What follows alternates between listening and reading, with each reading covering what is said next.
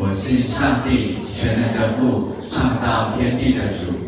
我信我主耶稣基督，上帝的独生子，因着圣灵感孕，从童贞女玛利亚所生，在本丢比拉多手下受难，被钉在十字架上，受死、埋葬，降在阴间。第三天从死里复活，升天，坐在全能父上帝的右边，将来必从那里降临，审判活人死人。我信圣灵，我信圣而公之教会，我信圣徒相通，我信罪得赦免，我信身体复活，我信永生。阿门。请姐妹请坐。